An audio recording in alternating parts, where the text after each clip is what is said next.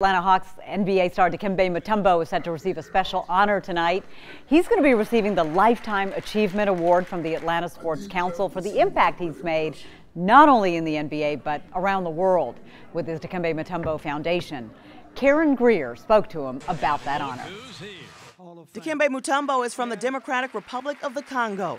One of 12 children, his father, a teacher, stressed the importance of education, so he moved to the United States to attend college. I think but what guided me in my life, um, not just by having a beautiful parents, a mom and dad, but I think education was mostly important. And with a height of seven feet two inches, it was no surprise he was recruited to play basketball for one of the Giants, Coach John Thompson of the Georgetown Hoyas.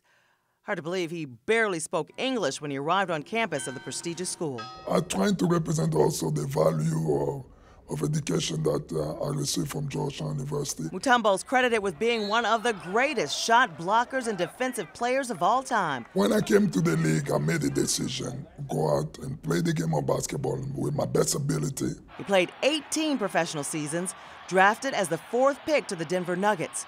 He went on to play for the Atlanta Hawks for five seasons before being traded to the Philadelphia 76ers, the New Jersey Nets, the New York Knicks, and blocked his final shots with the Houston Rockets before retiring. Every year I play here for the Hawks, I was happy. Mutombo retired second on the NBA's career blocked shots list and was inducted into the Naismith Memorial Basketball Hall of Fame.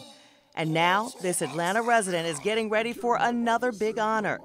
The businessman and family man is known for his humanitarian efforts around the world, including the $29 million hospital he opened in the Congolese capital named for his mother. $23 million of that came from his own pocket.